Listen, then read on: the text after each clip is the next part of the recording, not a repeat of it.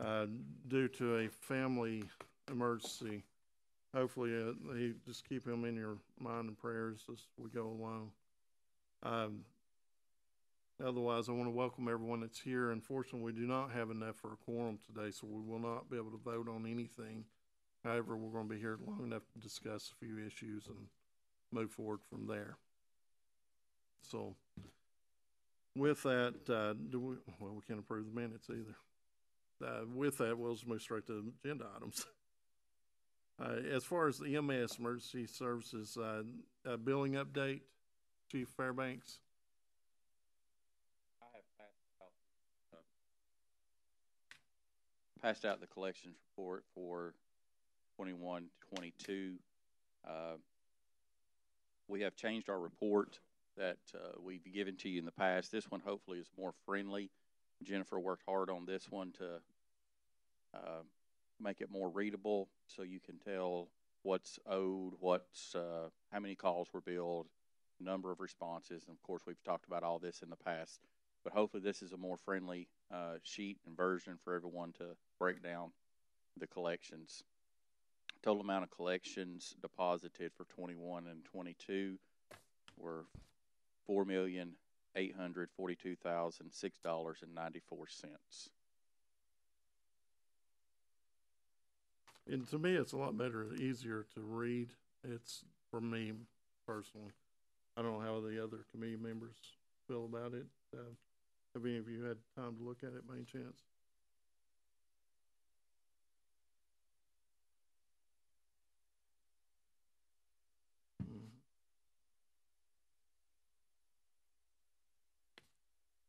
And I believe if we would have had our, uh, time of that three months of COVID that we were down in the office, I believe we would have been even a little closer, if not over that projected, but we couldn't project what COVID was gonna do last year, so we apologize, but it, it got close, even though we had the three bad months of COVID with the office.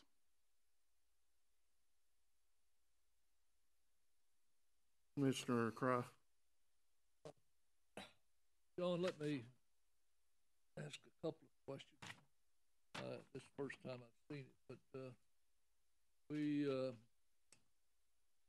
have billings of, take one month here, May of twenty-two of thirty thousand nine hundred and eighty-three dollars, but we have collection three hundred sixty-three dollars.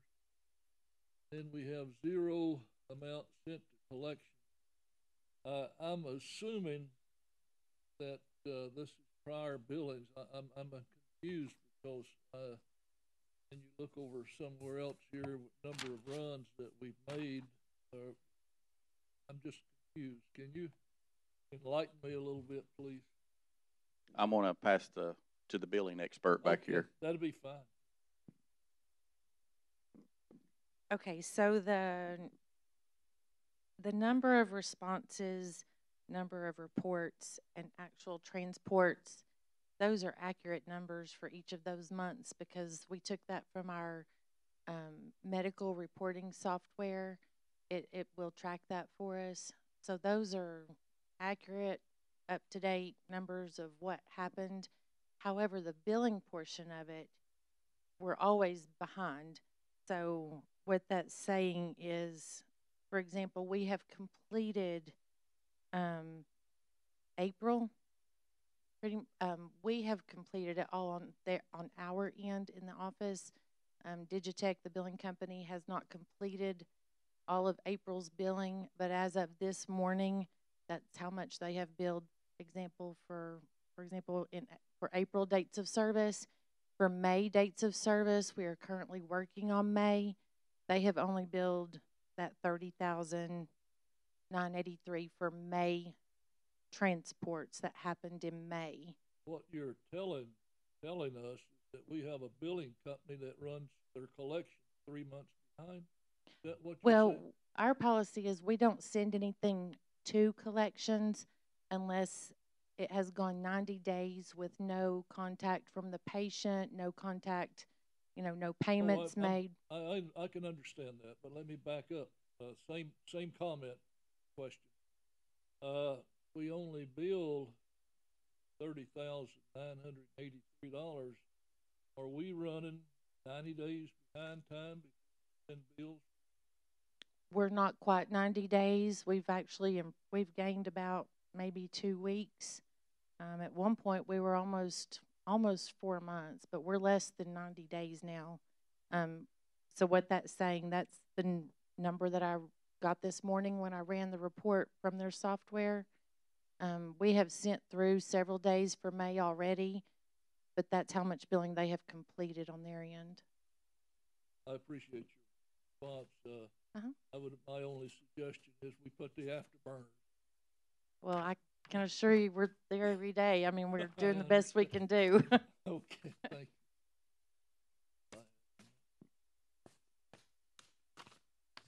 Do we have any other questions about billing? Cindy? Uh, Commissioner Slater, please. So would it be a fair statement to say that the total charges in May, when we look at this next month, will increase from thirty thousand nine hundred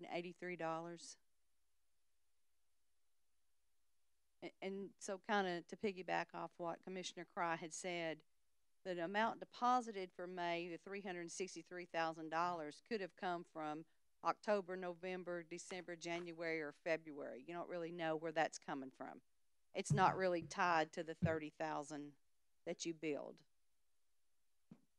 Jen can correct me if I'm wrong. The EOBs will tell us where that money goes and who to apply it to and all that, but which month it comes in from the billing, you're absolutely correct. We have no idea.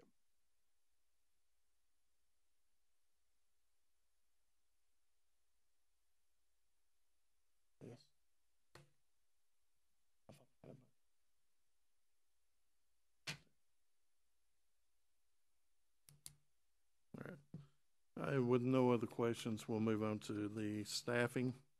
How is staffing doing so far with EMS? Staffing with EMS, if it's okay with the chair, I'm gonna let Mike Guerin give his That's fine. report on that.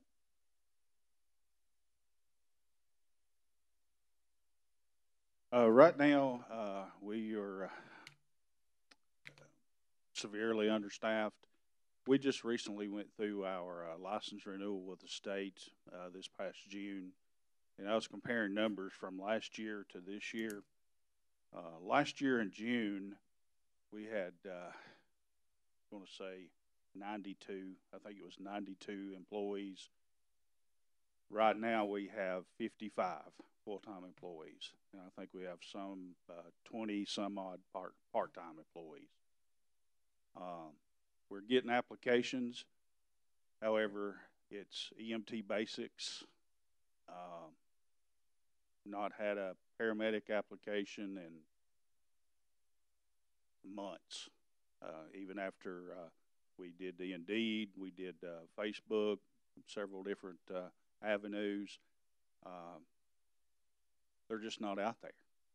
Uh, sadly, it's not just a Bradley County issue. It's it's statewide, nationwide. Um, I attribute uh, a couple of factors for that. One, this generation is a lot different than our generation when we grew up. Uh, there's uh, not that heart of service out there much anymore. And two, uh, I lay a lot of the blame on our state governments. Uh, they are making it just almost impossible for uh, people to to go to school. EMS is the only profession, as I, I know you guys know, uh, in, in in emergency services. You know, we can hire a police officer off the street, send him to the academy. He gets paid while he goes to the academy. Then he comes goes to work. Same i- idea with fire. You can hire them off street, train them, pay them, and then put them to work. EMS, you have to have all your stuff up front, and that's all on the on the the individual. And uh, the state and in Tennessee has broken down. Used to have we used to have two levels of licensure: EMT, IV, and a paramedic. Well, in their wisdom, they have broken this down into four licensures emergency medical responder, which is a class that the student has to pay to go to. Then they have to pay their fees to the state. Then they have to pay to take the National Registry test. Several hundreds, a couple thousand bucks. Same thing, EMTB. You gotta go to class, pay all those fees, test, pay the state application fee, take the National Registry. So on and so forth. EMTA, advanced, same thing. So by the time you go through all four of those and you get your paramedic, you've sunk twenty-five thousand dollars into it, and uh, it's just God's grace if you pass that test. The National Registry, uh, ever since Tennessee got involved with National Registry, uh, I personally have seen a decline in personnel. I'm all for education, but this National Registry testing that they have adopted for the state of Tennessee, nobody knows where that money goes. And that's how they make their money is on these tests. And the pass fail rate on that test is ridiculous. So they pay $175, I think, uh, for a paramedic to take this test. 10 people take it, four of them's going to pass it.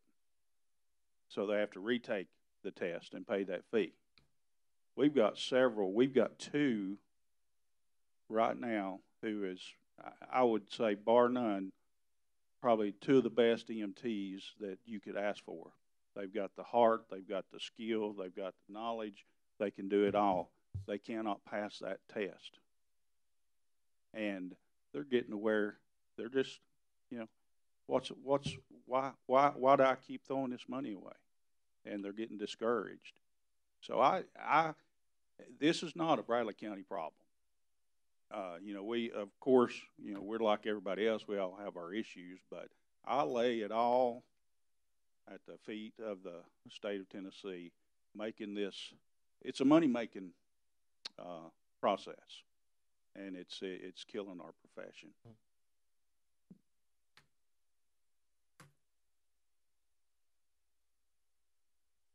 Before we move on, let me get, uh, since we now have a quorum, let me get approval of the minutes, and then we'll move straight from there to the rest. Apologies, Mr. Chairman. Sorry. Motion's been made by Commissioner uh, Thompson. Do we have a second? Second by Commissioner Crowe. All in favor, say aye. Aye. Aye. Anyone against? No. Uh, So motion passes, all in favor. Now let's move back into the staffing. Are we done with staffing as far as, is there any other we need to follow up with? Commissioner Crowe, you have a question? I, uh, I have another one of these pointed questions for you, sir, so bear with me, all right? Uh, having been licensed in my life as a real estate guy and an appraiser, my, uh, home address, phone number, and everything's on file at the state register. Have we made any attempt at a mailing for this southeastern Tennessee region to go after these people that are presently licensed? Uh, we have not. We should, all right? Okay. Uh, this is gutter warfare, survival of our ambulance service, hmm and we should go after. it. Yeah. Uh, we offer, or did offer a bonus, I don't know, Yes, we still do. all We- right? We need to use it, Yeah. because we, with vacant positions, we're accumulating, uh, what I call a piggy bank, okay? Let's Yes, use it. Get staff, get these ambulances on the road. That's Yes, sir. It's, uh, you know, it's, uh, and that is an excellent idea. Uh, the sad thing is, most of these folks, it's like this year at Cleveland State, I think they have a grand total of six people that are going to attend paramedic school. Um, when I went to paramedic school in 2012, or correction, uh, 2010, we had like 60 people in our program. So it's there's some out there, and, and uh, one thing is private industry is taking a lot of paramedics. Uh, they can go, just say for instance, I used to be a paramedic at Bowater. you can go to Bowater and I sat in a chair for twelve hours and made twenty-five dollars an hour. You know, it's, it's a tough situation. I, I wished we had some better answers. Uh, I know we, uh, we do a lot in the schools. We've got people teaching the, uh, EMR classes. I think even Jeff teaches some at some of the high schools. We're recruiting, trying to, trying to, uh, get these kids early. But the state is wanting to put it, the burden off on the counties. Their answer is, okay, Bradley County, uh, set up you an academy and you can teach your own. And my answer to the, uh, my response to him was, well, who's going to pay for that? Because we're going to have to hire instructors. We have to have an appropriate facility. You know, that's their answer. They're putting the, the burden on the counties. And uh, as you guys well know, we don't have money to uh, just throw willy nilly around for that, that extra stuff. But I do, uh, that is a good idea, Commissioner Crye. Well, thank you. I, I, I, think we've gotta do what we have to do. I don't give a flip if we irritate the hell out of the rest of Tennessee. We gotta get our staffing up to date. Right? Yes, sir. I, I'm quite sure there is a photo of me on the wall over in Nashville because uh, We need to, I, uh, need to put a crayon on that thing. I, uh, I've not made many friends over there in the last uh, couple months. Commissioner Thompson. I get, back when Cleveland State, uh, I remember us talking something about Cleveland State and what it would cost them to go to school over there for, uh, EMTs and, uh, what? Kind of refresh my memory on this. But, uh, when, when they decided to do that, did we not, you offered a bonus, I believe, You offered a bonus, what, five thousand dollars, something like We have a sign-on bonus of five thousand dollars. thousand dollars. Then, where did it go from there? Just talking about the difference, uh, they had to still pay a cost of hundred thousand, test or something like. Not only are you paying for the schooling and the books and all that stuff, you're paying to take the test each time. The test is, what he's saying is the test is hard. Uh, it's made up by doctors and nurses all over the world. And it depends on how good your curriculum is and your instructors are. But what it gets down to is, is if you don't pass that test, then there's another retest fees and retest fees, and it keeps going. And, uh, it gets very expensive. Uh, paramedic school alone is fifteen grand. Uh, that's just for paramedic. You've already had to come from your EMTs and all that other stuff and get all those certifications. And then it, it just keeps rolling on with the money, uh, out of pocket for that person to come do a career, uh, that they lose and get disheartened in because they have trouble with that test. And What The- are we this- doing to help them over there? Those in Cleveland State, what it's costing, what do we do to help them? That come out of your, We, Or we, what? we partnered with Cleveland State and did the Danny Lawson Scholarship where we can send two to paramedic school each year from Bradley County EMS. So we have two in that are fixing to graduate. We'll be sending two more this coming school year. Uh, but that's what we have worked out with them right now is we're doing two full ride scholarships for EMTs at Bradley County EMS that can go to paramedic school. I guess, what is the, uh question is, what is the problem? Is it pay? Paramedics, or we, are we low on pay for paramedics? Uh, when you We, we just went to fifty thousand starting out for paramedic. I haven't done a pay study in so long, I couldn't tell you. So that hadn't, that hadn't made a difference.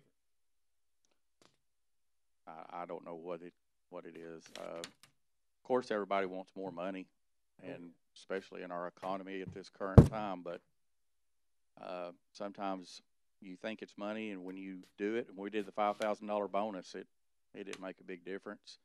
Uh, we gave a raise last year and we have got a raise this year. Uh, they're not beating my door down. I don't know what it is. Is it job description? part of it, and part of it is the the willingness to have a, a- or they don't have servant hearts. Uh, this business, you have to have a servant heart. You gotta wanna take care of people. You gotta, a lot of people use this as a stepping stone before they get their nurse practitioner or their nursing license or, you know, move into the private industry, like Mike said with, uh, Bowater and Mueller. Mueller takes a lot of people. Uh, the industry pay, you know, Amazon pays good for a paramedic to sit up there in a Band-Aid station. It helps those companies with their insurance rates and stuff, so they have paramedics on site. So there's a lot of paramedics in the industry.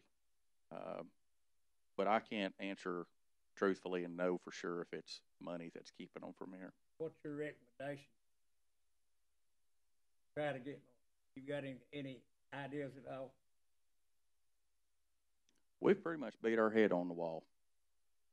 We've tried a lot of stuff. Uh, I don't know what the answer is, Mr. Thompson. Uh, I, I couldn't answer that right now without some thought. Well, I just, I didn't know if it was something, this may be something we need to talk about if there is a recommendation. And, uh, all first responders, I know, have, have problems competing with other counties, other cities, stuff like that. So, uh, something we need to talk about. We'll continue with our ambulance service. We need to because we got one ambulance country. Equipment, everything else, so, uh, maybe we need to sit down and, uh, try to work out something. I don't, I don't know what it's gonna take. I'm, I'm sure, I'm sure that the revenue is gonna be one of the answers. Do. Sometimes, sometimes we raise, schools in mind. I'm, I'm, I'm I'm for that. We also need to think about emergency.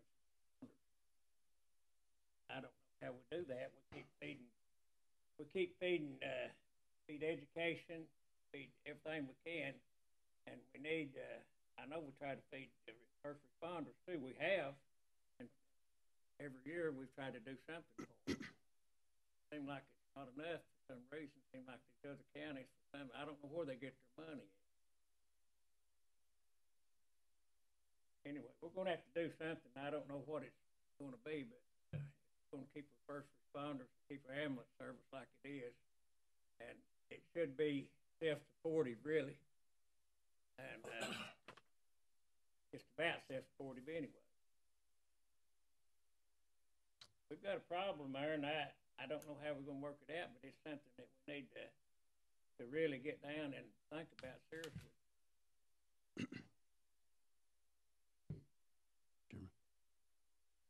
First of all, apologies for missing this meeting. I, I uh, lost track of the days after the election last night, so to be honest with you, sorry. Um, you know, the, we're talking about recruitment here, and we're talking about how you can recruit the future. Sounds the PIE Center at this point, and what you just said about having a servant's heart, having this desire to help people there's still some space over there. If there's a way to look at some where you can grasp a uh, 15 year old that's wanting to get out on the road and do all the challenging things you do and being prepared for that, maybe we could look at how PIE, the PIE Center could start developing a future workforce for you.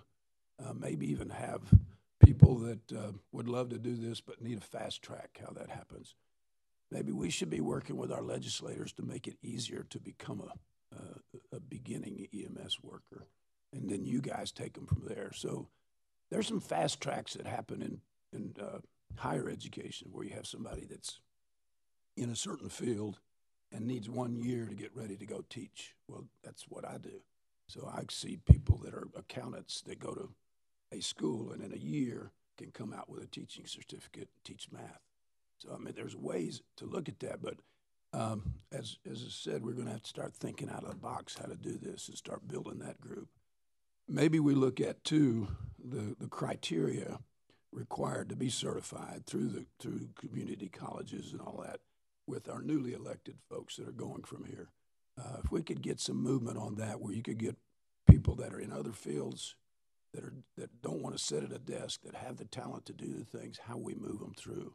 So maybe that's something we could be looking at there, but, uh, I think there are young people that have servant, servant hearts. Uh, we gotta capture them. We gotta capture them for you, for your program as well as a lot of the other ones. Teachers have a, have a servant's heart. People that go into business and want to do accounting and give people money to buy their houses have servant's heart in a lot of ways. So if we can capture that stuff, um, maybe, and I, I, is there a way to upgrade the two at Cleveland State to get four at Cleveland State to get six? We got a new president over there.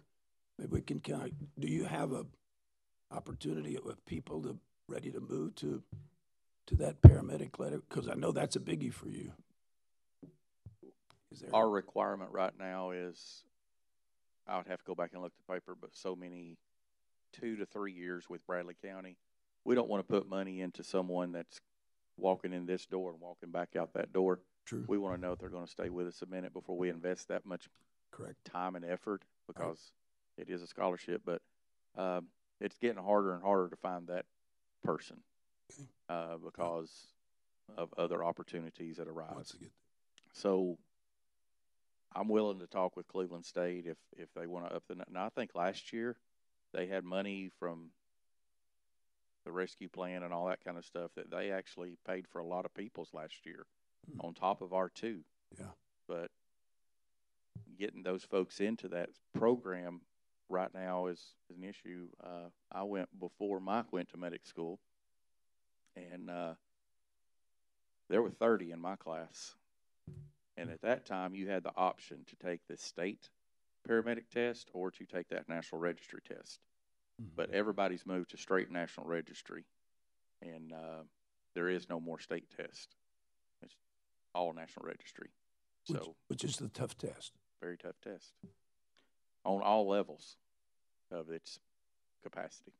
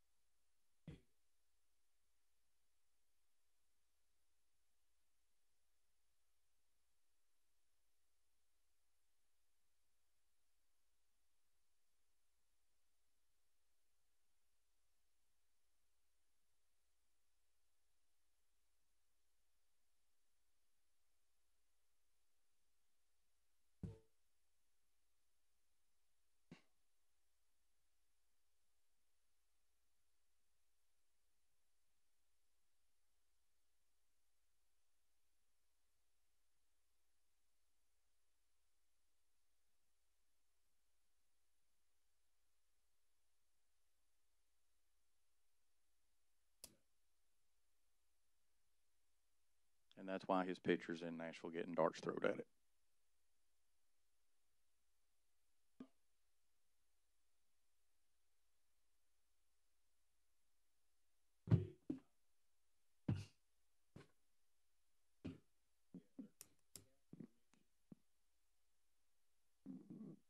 the county leaders and put pressure on our legislators, uh, because I I can't quote this verbatim, but from a state educator, I was told a couple months ago that the state of Tennessee is moving toward EMS becoming, uh, private. Uh, your, your rural counties, uh, are basically going to end up going away. It's going to be private services, kind of like healthcare, moving away from county-owned hospitals, going into corporations. Uh, and it's a, it's a political game in mm-hmm. Nashville, mm-hmm. and the people of our state are are uh, suffering because of it.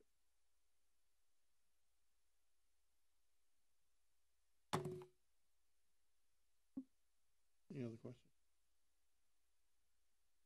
Chief Fairbanks, I do have one question. We've he's brought up the private companies. I know that private companies have to have the same issues we have, but how does that work exactly? Because they have to have short calls or their funding has to be short from what they're getting on the insurance to pay from that.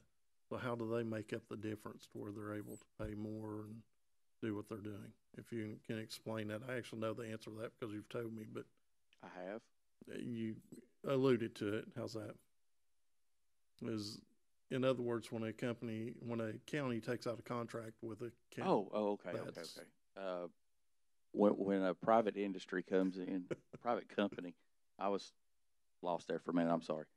Uh, they could end up, uh, saying, this is what we will run calls for in your county. We will provide you this many ambulances and, and this much coverage.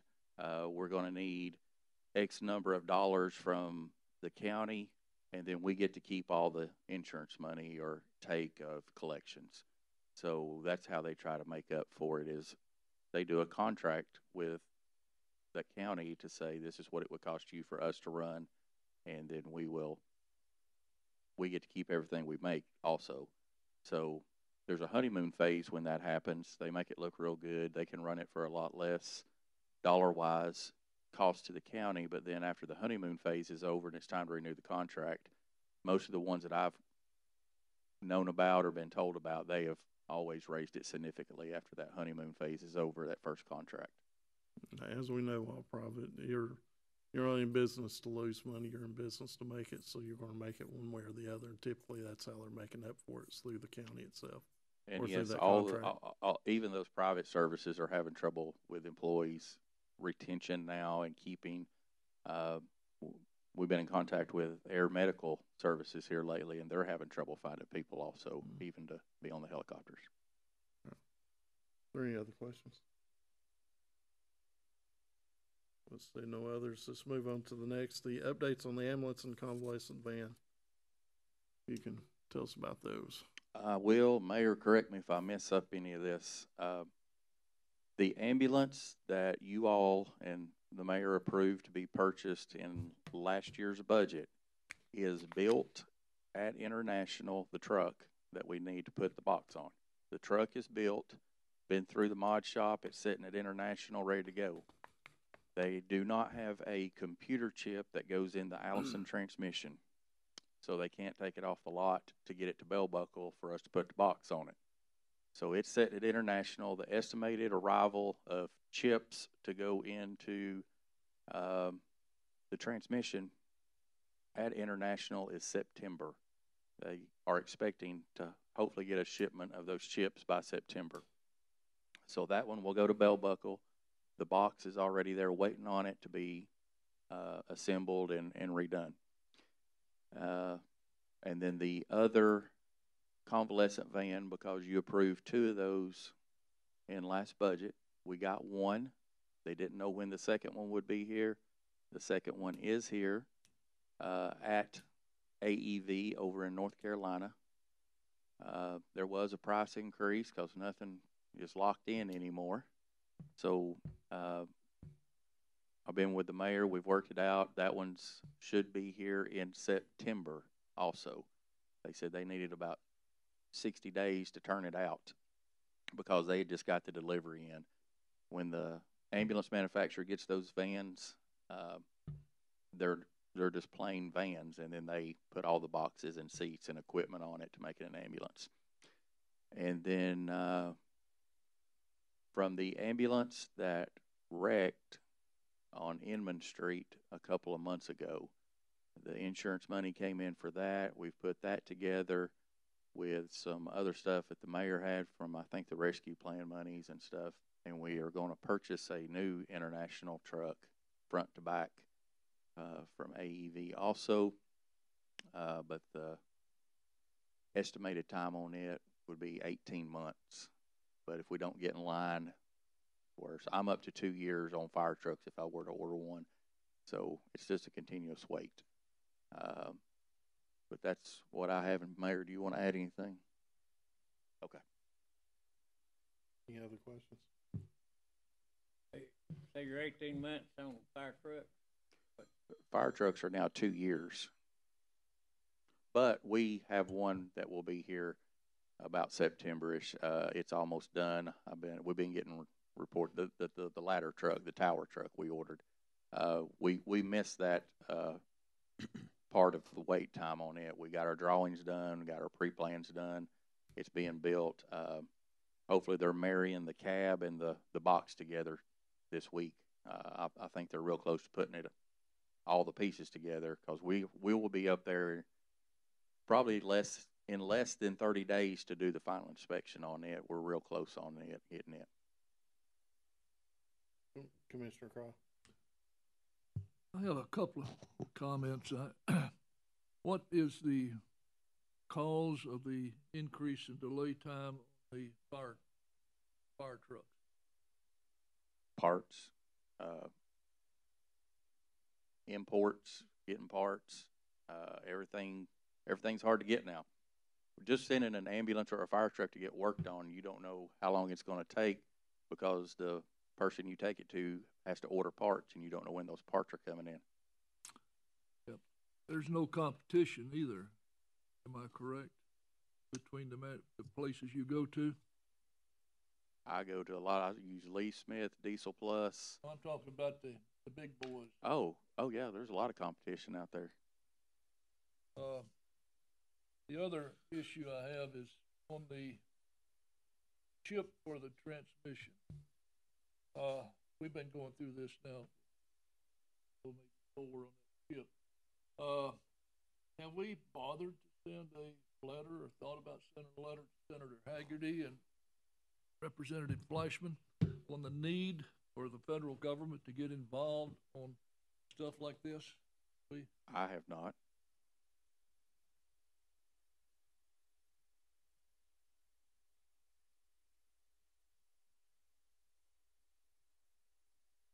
I, uh, I'd like to make a motion. Prepare a letter, uh, send it both to Fleischmann and, uh, Hagerty on the situation that we have and the importance of someone doing something at the federal government. I'd like to make that. Have a second? Have a second? All in favor? Uh, Passes unanimously. Um, Mr. Chairman, I, I, talking about chips, so, uh, I've got a truck sitting up there, I've been waiting three months on a chip. So, it's not just fire trucks, it's not just ambulance, it's It's everybody, everybody. so, uh, uh, I don't know what the problem is. Probably Biden, I don't know. Anyway, Yes, sir. somebody. Mr. Mr. Chairman. somebody dropped the ball, it's evident. Commissioner Winters? You, you mentioned about the accident. Uh, how are the, uh, staffing? How, how are the folks? Are they well? They're Is doing back? fine. Everybody's Uh, back? Is she back yet? September fifth, the second one will be back. She's doing fine though. Uh, the, the male that was in there, he, he's been back for several weeks now. So they're doing good. Good. Well, we've moved right on into fire department without, uh, on the agenda without moving too far, but, uh, as far as staffing for the fire department, how are we doing? Uh, we're doing pretty good. It's okay. I'm gonna let Deputy Chief Stewart talk about staffing. That's fine.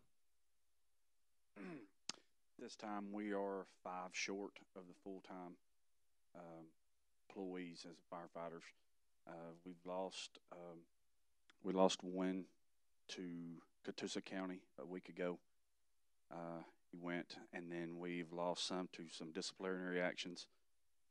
And one, uh, two brothers actually quit, uh, going to move a different part of the south in the country, so but that's where we're at. We're five. So we're planning on to starting our getting the process of starting a rookie school. Or, well, that's what I was starting to ask about, was the rookie school, and it, it's good to see the new state rep.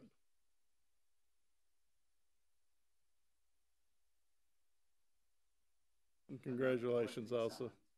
Hey, congratulations also on your, your election. Um, we were down at the fire department. We just spoke about the ladder truck. I don't know if you guys want to update on that, or do you want an update on that also? Kind of catch you up a little bit? Okay, It's black and red and it's pretty. The, uh, the ladder truck is being, being built. Uh, we've almost been at a year and a half or more long process in getting this ladder built. It is, uh, the cabin chassis are together, all the electronics and hydraulics are being assembled at this time. The pump is in. Um, they just have not married the back half of the truck with the front half of the truck. I'm expecting that to be done at any time, and they'll have the ladder on it. Uh, it's coming together real well. Paint's looking good. Um, I'll try to share some pictures with Lori, and you all can see it for yourselves. Uh, me and Jeff get those uh, weekly every Friday, so we will get new pictures today. And I've been sharing those with the mayor also. So, but I'll get those to Lori so she can share them with you all.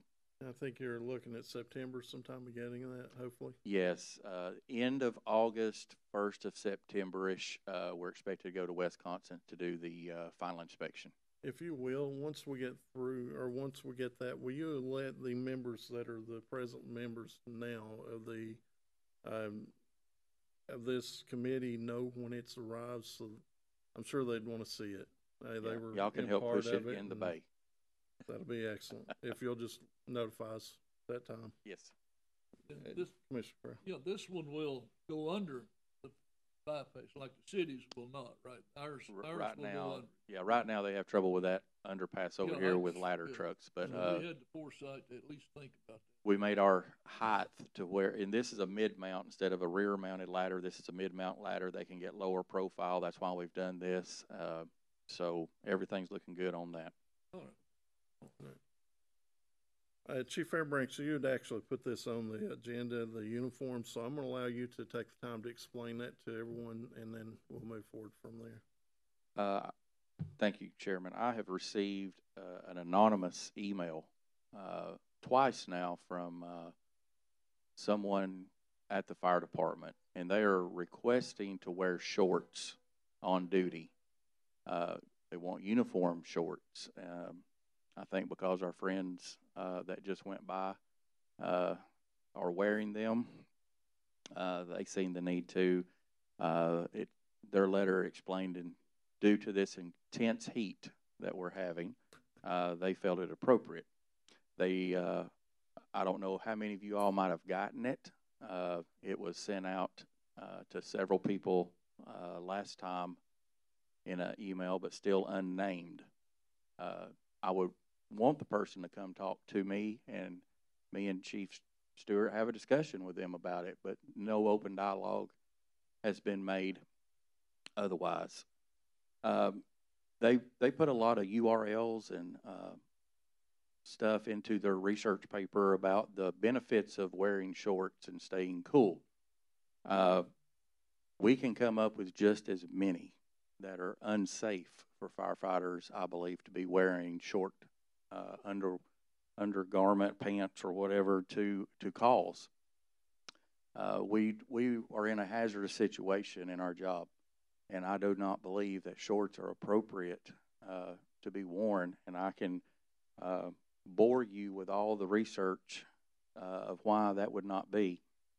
But we deal with bloodborne pathogens. We deal with glass. We deal with metal. We deal with heat. We deal with fire. Firemen know they're getting into a job that is heat related. Uh, just to wear shorts on duty is not a good enough reason that you feel like you're hot sitting around the station. I don't know.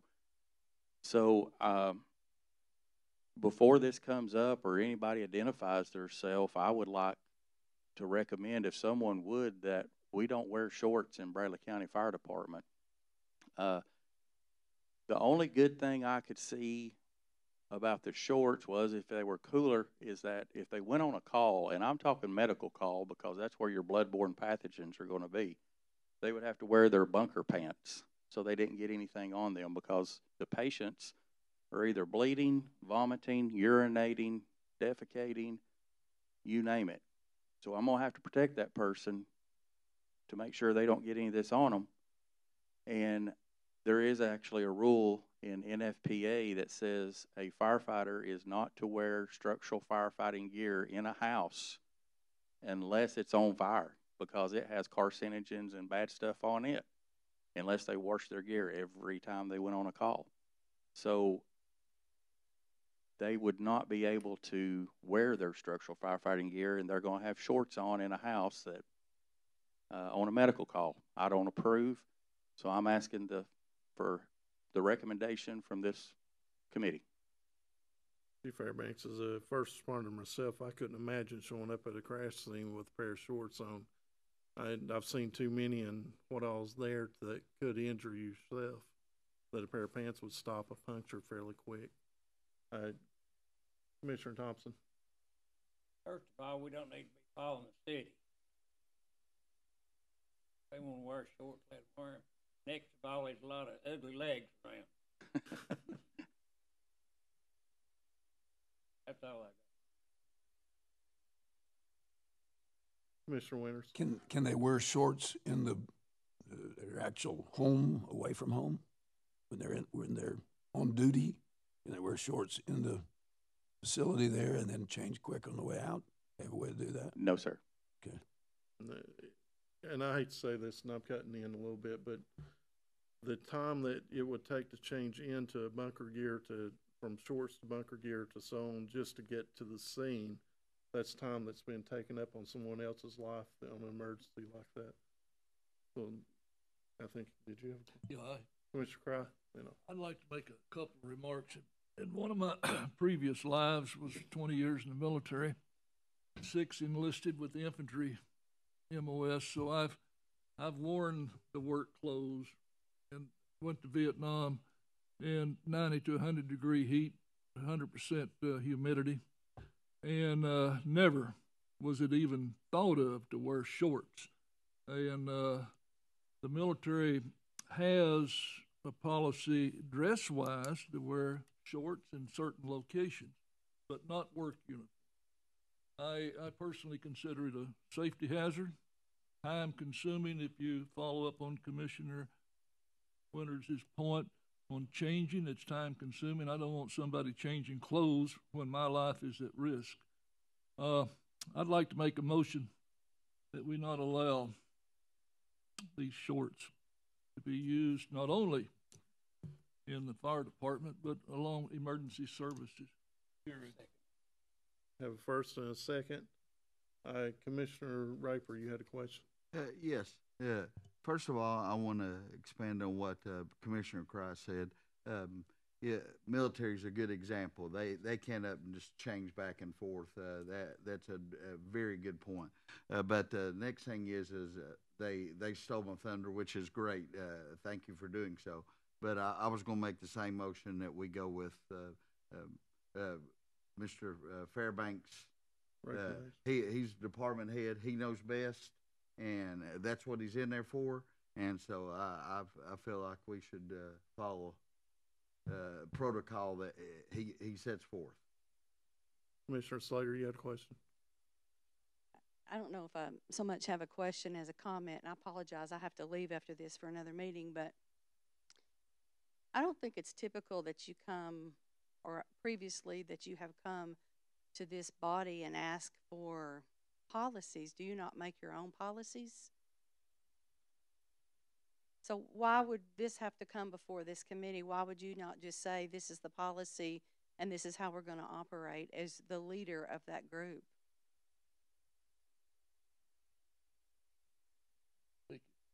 But th- that doesn't matter to me. If you're in charge, you make the decisions, not, not this body. As a, as a committee over emergency service committee, I have no issues if a, if a person over that department decides they want to bring something to a committee and ask for their advice or ask for them to vote on something. I, I personally feel that's what we're here for, is to help them as a department head.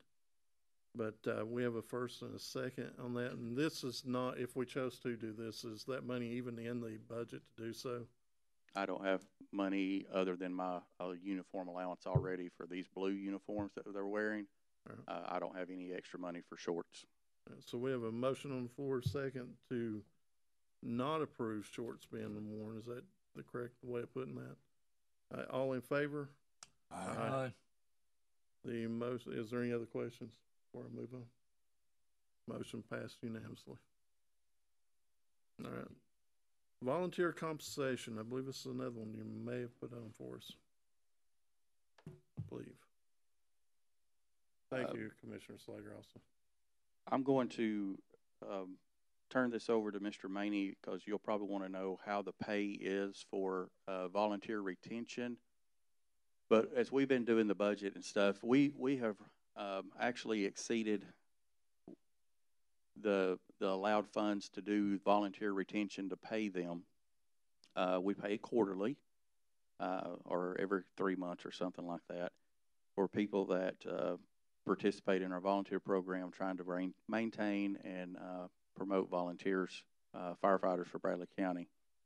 Um, toward the end of the budget year, sometimes we run short or run out of that money uh, to give them a little check for paying back some gas type stuff or whatever. Uh, and even when doing our budget this last time, and there was a an amendment that was almost done uh, to put money in there, and that's not what I wanted to do. If we run out, we run out. If they miss one check, it's one check.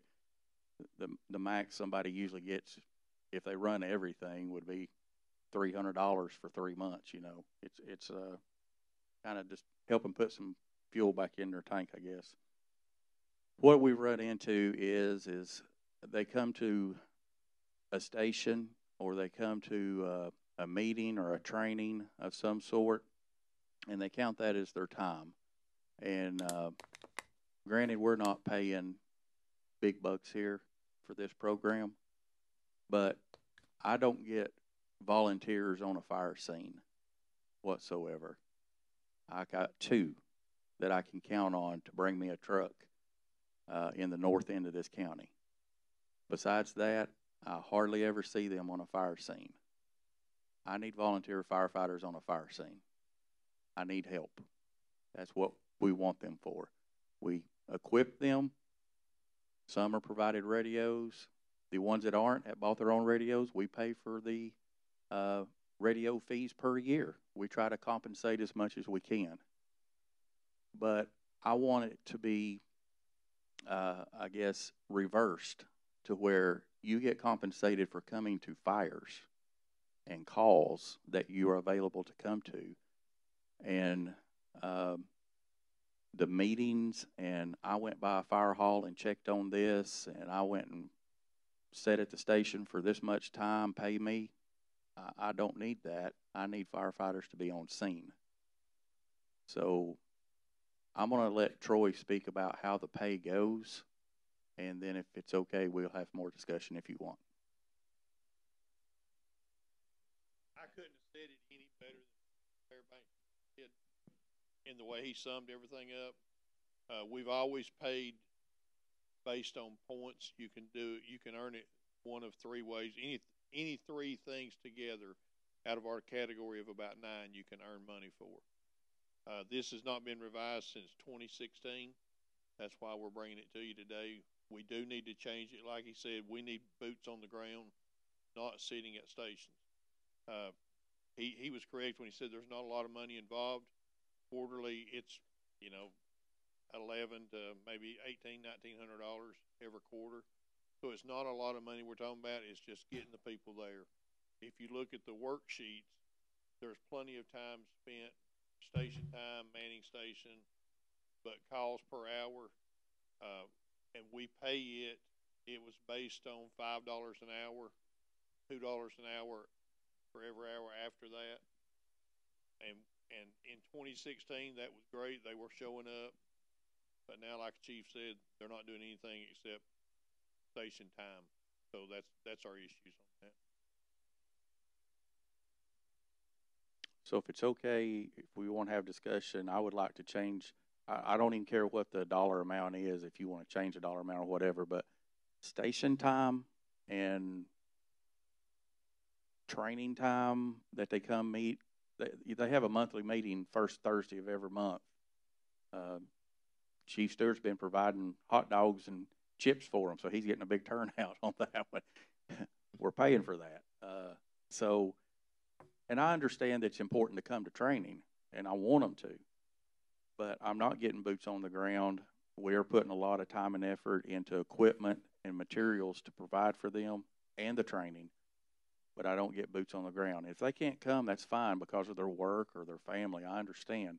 But I don't feel like we need to be paying out money just because they say, well, I'm on a station for a few hours and I want some money. I, I, I want boots on the ground when it's time to, to work. Commissioner Crye?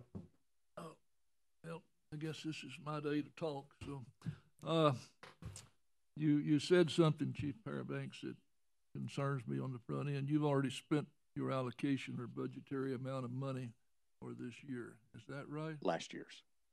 Okay. so They didn't get, they didn't get their check for the last quarter for last year's budget. I, I came up the hard way in life, and if you work, you get paid, okay? Whatever we have to do, if we work someone, they should get paid. That's just my two cents worth. Uh, the other issue I have is not an issue, they're comments really relating to these volunteer firemen. I can recall about three years ago, four years ago, we didn't have enough volunteer firemen to even keep a couple of these stations open. Now we're, at least we're worrying now about them coming to training.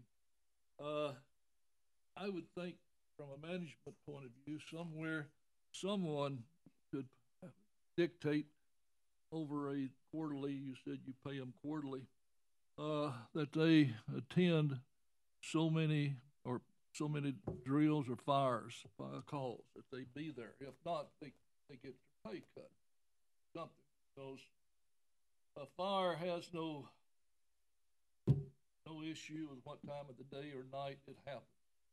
And I would think that they should, they should be put on notice that they get all this training, let's put some of it to use. Uh, and the other thing about the pay, you've got five vacancies, and I don't know what the starting salary is for a fireman, but you divide thirty-two thousand or thirty-six thousand by twelve, that's three thousand dollars a month. You've got five vacancies. That's fifteen thousand dollars a month. I don't see an issue on money, okay? Uh, move it from one budget line to the other, mayor's concurrence. Uh, but I, uh, if they're gonna go through all this training, they need to put it to good use and make sure they at least respond to a fire call a quarter or two fire calls, whatever, that's up to you. But, uh, I can vividly recall we were having serious problems on volunteer firemen. We don't have that issue apparently anymore, We worry more about paying them. Uh, that's just my, re- Commissioner Thompson? Uh, I think probably that was this thing from the beginning, volunteer firemen. And, uh, at that time, we had a lot of volunteers. They paid nothing. Uh, so after we got a full-time fire department, I think that's the time to pay them something for their gas. Before that, we even paid, I think, some to help pay for the gas and stuff like this. But, uh, the only problem I have with, uh, paying a volunteer good money, I don't have a problem with it, except the fact that you have some that, uh, that's all they're there for. That's not, that's not a good reason to be there, to make a little extra money. And, uh, they need to think about fire department itself and what they need to do to help, uh, to help earn that, uh, money. You're right, they need, they need, I'm with, uh, Crye, they need to pay some money for, go to the fire. But, uh, they don't, they don't have boots on the ground, then they, I don't see that, uh, that should be the part that you penalize. Need to make that, uh, you need to make that as an order that do have a fire in their area. They knew they did, uh, end that fire if they're available, you know. how it works or whatever. But you gotta have some teeth in it. If you don't, if you don't, they're gonna, they're gonna do what they wanna do. I've, I've dealt with them a long time, but that's just something to do. You gotta have some teeth in there and, uh, tell them that's what they gotta do. And I know that's gonna make it harder to get volunteers. Still, that's reason we got a full-time fire department too. Cause, uh, that's, uh, and try to work with the volunteers. Hopefully, we got enough full-time firemen that, uh, we've got a full-time fire department. That we don't have to fully depend on volunteers. So if we don't, then we need to look about hiring some more firemen. Commissioner Winters. Thank you, Mr. Chairman. Uh, what, what increment increase, if they attended the training sessions when they come, what would you think is fair? Seven dollars? Eight dollars? Ten dollars? What do they currently get paid for a training session or two dollars? Is it hourly or just?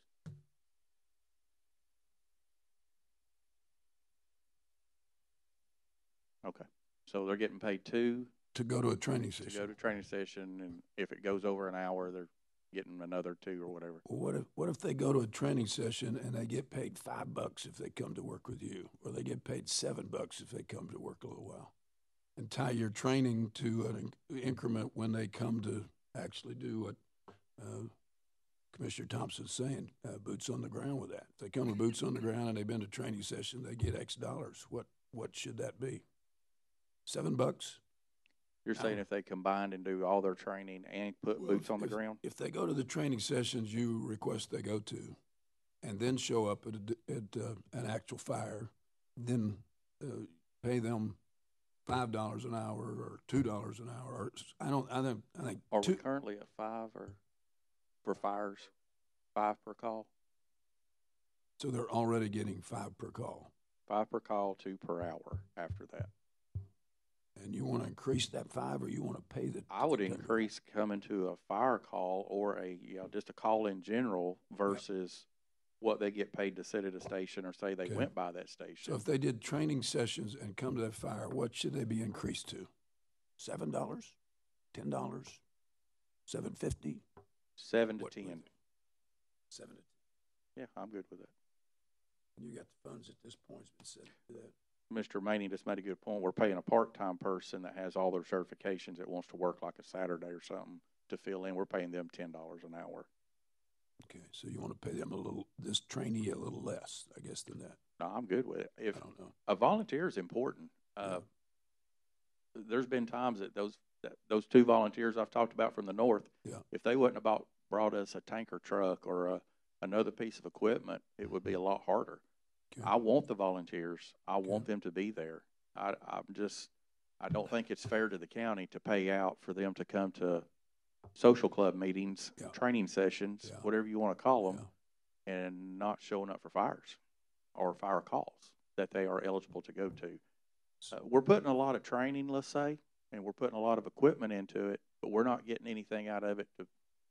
They're not fulfilling their end of the contract. So- Well, So you recommend a figure, seven fifty, seven dollars fifty cents? seven fifty sounds if good. if they've That's been- what you want to recommend. If they've been trained, if they've gone to training sessions. If, they have to have so many training sessions to be allowed on the fire ground. Is there a, any type of requirement that within a month they have to go to so many fire scenes to be a volun, to be on the volunteer? Why not just put something like that in place and that will eliminate a lot of that?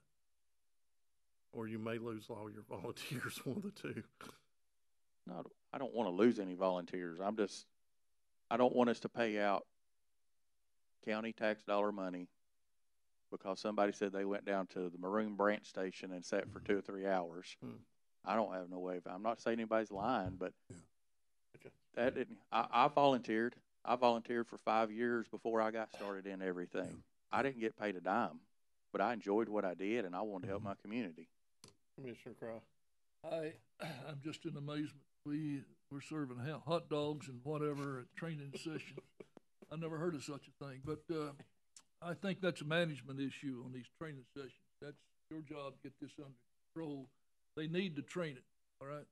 They, God help us if we're not training them, and they need paid for it. uh, private industry, they pay their employees when they send them to training, uh, almost without exception. And we have that responsibility for, our- for our employees.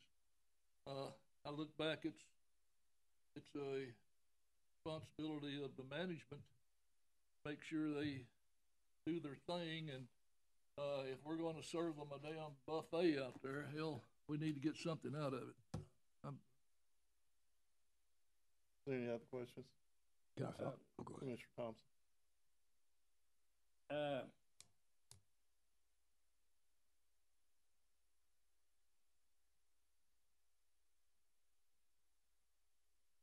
what kind of budget? You'd have to have a different budget if you, you paid them like we're talking about here, right? I don't believe so. I got a line to pay it out of. I'm good with that. What I'm asking is let's lower or keep the same for training. Just because you went by a station or just because you're an officer doesn't mean you're entitled to money.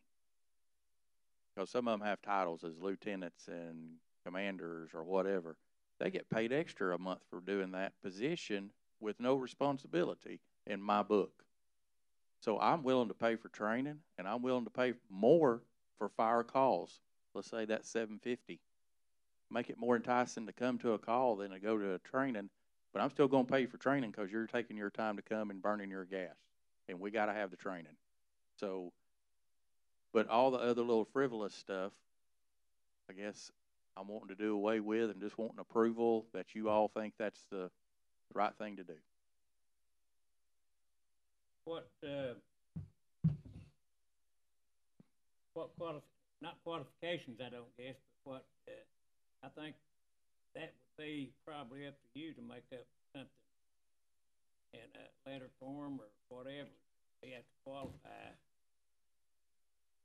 See, Yeah, Deputy Chief Stewart can correct me if I'm wrong, but they have to have a sixteen hour course, and then we usually do a sixty-four hour, uh, course, uh, to kind of get them going on that. If you, am I missing anything there? Okay, so that's required to be going to calls. So we're just wanting to, uh, cut out some of the frivolous stuff that the volunteers are receiving compensation for. That I feel like, and that's personal, I guess, if I say frivolous, because I spent a lot of time at the Charleston Fire Hall when I was a volunteer, but if I could have wrote down time and money for it, I might not be here today. I might be a millionaire. Who knows? So, Chief Fairbanks, I believe that the, if you had something drawn up that this commission or this committee could see after you get done with that policy, if you can bring that back, I don't think you'd have a problem with having it voted on. I'll bring it back to the next meeting. But just, uh, if you will, I think that this committee is happy with raising the amount as long as it's in your budget and Yeah. not gonna cause any problems. If you wanna add, whatever you're gonna add, just let us know. Uh, I'll And- put that in proposal form and bring it back to this committee. I committee. think you'll be fine. Thank you. Commissioner Alford? Just a question, clarification for me, Sean.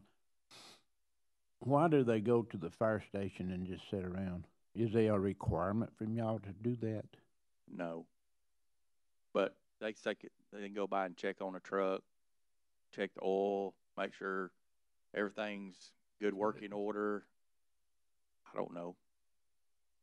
I think in the old days, wasn't it, that they, we had so many volunteers, I think they only got paid when they went on a call, is that correct? I don't know. Troy's older than me. What do they, what they do?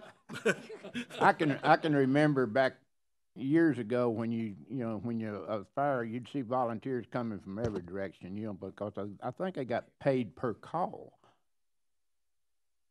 And that's correct. They did back then. And, and we're still kinda doing that now. Like chief said, we're just not paying. We wanna pay more per call. And some of the ways they can earn different money is some of their station duties, maybe to come and wash the trucks, stand by during a storm, stand by if we've got a major fire working somewhere else. A lot of times they'll man those trucks. And the way the policy's wrote now, they get to, they get to count that. So with what he's wanting to do is let's pay them to be on the ground working and not standing by a station. a lot of times they'll stand by and we don't know they're standing by until calls over and then they'll say, oh yeah, I was standing by up in Charleston. We didn't know that at the time. That clarifies it to me to some degree, but I agree with Chief here that we do need to stop the frivolous stuff and up the, up the call money. We'll, we'll fix that policy and bring it back for review. I think that'd be perfect. Thank Okay. you. Commissioner Crye, you had a question? Oh, I, I just wanna go back and touch on an earlier point, uh, I, I have absolutely no patience if you run out of money and overspend your budget. No excuse for it. Uh, I just wanna make that point, cause you, you touched on it on last year's budget, you overspent on the firemen. Well, you had all this other funds you could have moved from line to line. I, I don't, I just don't have patience for spending more than we're allocated, I'll be honest. I just wanted to make that point. Commissioner Thompson? I don't have a lot of patience when I run out of money myself. Neither do But I. anyway, on these, on these full-time stations you have, or, well, you have two firemen and, like Taylor and Prospect and where else? There are two-man stations at Taylor, Prospect, and McDonald. Okay, what do your volunteers do there? Do they uh, participate a lot in with those people? They can, Can, yeah, there's no restriction on what station for a volunteer. We, there is no restriction for what station they go to. Commissioner Raper? Thank you. Um, Mr. Fairbanks, um, uh, in your report, can you include also, um, the fact of, uh, you mentioned at times that they may come in and make extra money washing a truck.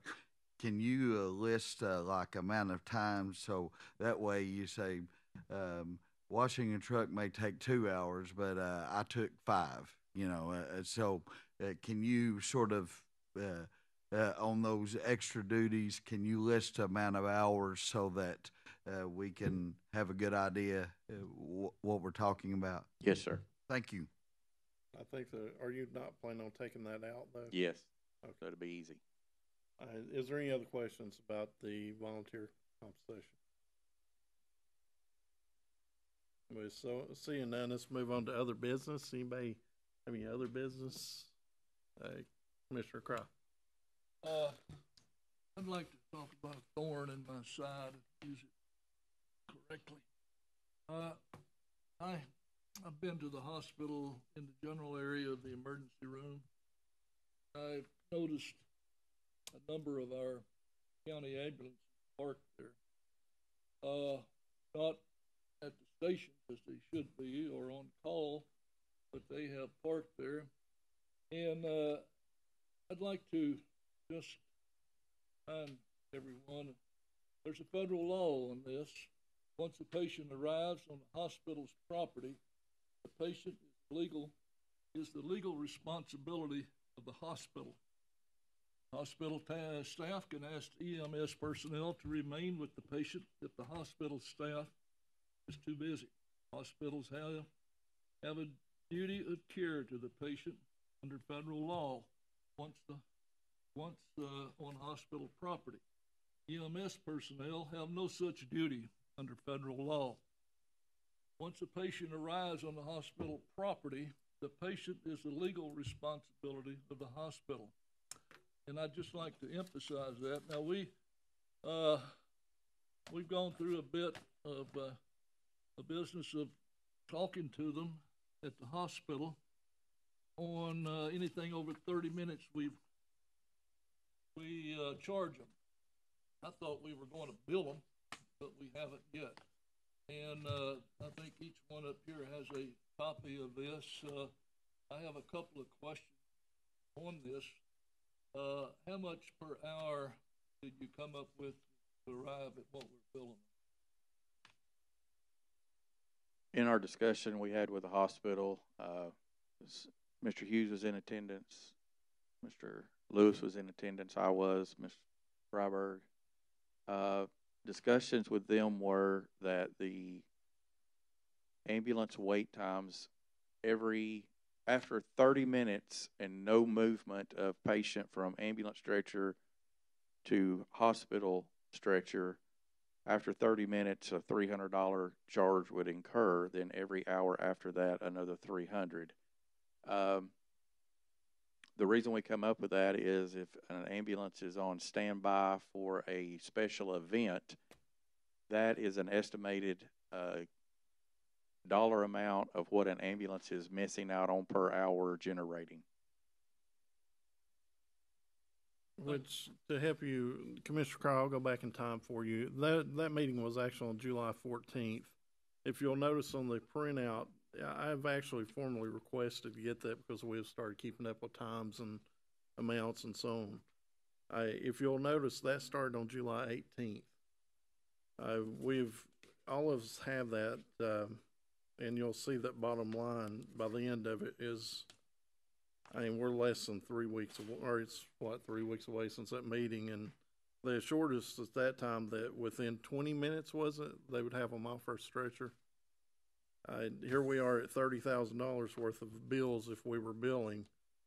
And, and it's, it doesn't look like it's getting any better. I see one time here, two and a half hours. I see two of those, actually, two and, two hours, thirty-five minutes, two hours, twenty-five minutes it is a disservice to our community, our citizens in Bradley County, that are the taxpayers that are voting for this, are paying for this. Uh, the hospitals, and this is not for Tennova alone, this is all hospitals are privately owned. I'm not in the business of using taxpayers' money to fund a privately owned business. I think it's, it's a disservice to our citizens over that. The other fact is, is what got me interested in this was that um, we'd had an issue where a person at the at our local sheriff's department had had a, heart attack. They call it the widowmaker. We had an ambulance that they we called in for an ambulance. The ambulance said it was going to be 30 minutes before they got there. The more I looked into it, as as we found out earlier, we are severely understaffed we had several units at the time up at the hospital. Those units should have been out and picking up our patients, not taking care of patients that belong to the hospital.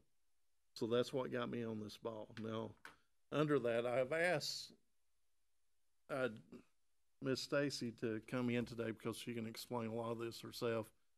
I I have requested a lot of information from her and by now so we've got to know each other fairly well because of it. Um, and thank you for working with me on this stuff because it is difficult to understand without having somebody there also helping you through some of this stuff. But uh, first is move on to the billing. Yes, we did have that discussion. The intent was given that we could start billing. I said, however, we're going to bring it before this committee and then move it from there. So with that, I'm gonna allow the committee to move with the billing however they wish. Can I- Yes, Thank you. Uh, this thing here is two pages long, like, uh, Mr. Hughes stated, it goes from July the eighteenth through July the thirty-first, and there were seventy-seven billings. All right, uh, for a total of roughly thirty thousand dollars. What makes this significant to me, I've been around here about eight years now, and, uh, I recall about every year, we're about a million dollars off the projection with the ambulance service. Now, that to me is indefensible, uh, and has to be corrected. Uh, God knows how the mayor compensates or adjusts for a million dollar discrepancy on projected income every year, but he does. Uh, we're gonna have to start billing. They have uh, acknowledged it apparently in a meeting. Uh, the county attorney was there and mayor's assistant was there and so was the Commissioner Hughes. So it's time to get moving on this. I, I just make those comments. Commissioner Thompson. Uh, have we billed, uh, you run this through the billing company, the same one that bills ambulance service? If we bill it, it will go through the billing company, yes. They haven't, uh, they haven't billed anything yet. No, sir. Okay. What, what's the hold Approval approval? from, I guess, if that's what you all wanted to do. Just need to be paid for services. Mr. That's, Chairman, I'd like to make a motion. Billy? Um, Do we have I'll a second. do we have a motion and a second? Commissioner Winters? The CEO was there also, plus the co-CEO and so on, so it was several people. I didn't hear them say no, so their commitment was is that they'd be, they'd put a time clock inside that they could clock in people. Although we're keeping up with our time, that would be for them, they would clock it in for the show stretcher time and then go from there.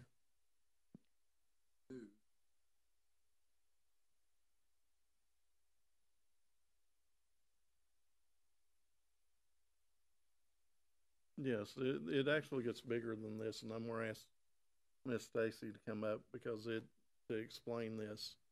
There's also an issue where this has been going on for years, where insurance, after hours, a patient has been called, or where they're calling for us to pick up a patient at the hospital. They're not verifying this with, through, through the ambulance, or through the, uh, insurance agency, which in the end, we're being stuck with money. Uh, quite honestly, we pulled a sample selection of that, and I think it was fifty-one calls from the billing company already. Uh, fifty-six thousand one hundred and that was prior to the meeting, about a year long. That, that we had no funds come in for, over just not verifying it through the insurance company. Since this meeting, from July twenty-first to July thirty-first, uh, we have already had, eight more, there's no dollar amount on this to show the amount of it, but eight more that has come in that we are honestly not being paid for but through the patient or through the hospital at this point. So, Miss Stacy, if you, do you mind to come up here and sit next to Adam there? And then, uh, Adam, I'm sorry, do you, did you have something? Go ahead. Yeah, uh, frankly, um, I think, I think you need to be careful with where the direction of this meeting is headed in terms of a decision without consulting with our county attorney. Um, she and I were both in the meeting as well, and each of us came away from that meeting with a much different perspective of how that meeting went than what's being being discussed. Uh, it was briefly mentioned to the hospital staff that this was a possibility and that it was being discussed, but there was no negotiation, there was no agreement. In fact, after the meeting, uh, and as, as late as last week, they are are under the understanding that this is an issue that, that they wish to work with us on. One of the things that they asked for and have asked for repeatedly is is data regarding how long the wait times are. And to Mhm. this point, they still have not received the data to be able to uh, determine and work on the issue themselves. So um, I, I understand it's a concern. Chief But I think we Fairbanks, I'm also sorry, need- Adam. I'm Huh? sorry. Chief Fairbanks, can you send them this data and the other, please? Thank you. They will receive their data. Yeah, I think it. I think we also need to be mindful of the fact that uh, they are our partner, and they are in much the same boat that we are as far as being short-staffed. And I understand that the the legality of when the patient drives into that parking lot matters. Um, but there are also times when we can't take transports because they call and we have to make them wait. So are, are we going to now expect to be billed by them? Um, Mr. I- Lewis, that is actually their patient at that hospital. understand that. As far as our concern, our concern is to the citizens of Bradley County. Quite honestly, if that officer had died after being left there for thirty minutes with a widowmaker heart attack, who do you think would be liable for that death? Do you think it would be Tennova, which is privately owned, or would it be this county that is owned by all citizens and taxpayers? I, I understand that. I just think that you need to be careful about making a decision in agree this with you, committee but I think our without discussing this with Crystal. I think our responsibilities are to the citizens of Bradley County. Be the sure you're being legal, is all I ask. By my understandings from the county attorney, they can be charged. Everything I've said and researched myself, they can be charged. Mr. Chief Fairbanks, I thought, or I felt like after we moved from, or left that meeting, the intent, because I know I said it numerous times of the intent and what we were planning on doing was, was thoroughly understood. If I'm in mistake with that, please correct me. So a motion's been made in a second. Do you, does anybody want to remove their? No, but I want else Yes. to vote on. First of all, they're short-staffed, I'm sure of that. And that's, that's not our problem, that's their problem. They're by themselves, it's not a Bradley County hospital anymore, it's Nova. They didn't want Erlanger and they didn't want Memorial in here. They don't want no competition whatsoever. So if they, if they don't want any competition, they need to do the job or grow enough to do the job. County grows, they need to. But, uh, you're right, if we stay over there so long, that needs to be put in writing or whatever. And we need to bill them. Their place to pay that, pay that. And, uh, I'm sure it would be our place if we were in their. So, uh, I think we need to bill them, then we'll go from there, and see what happens.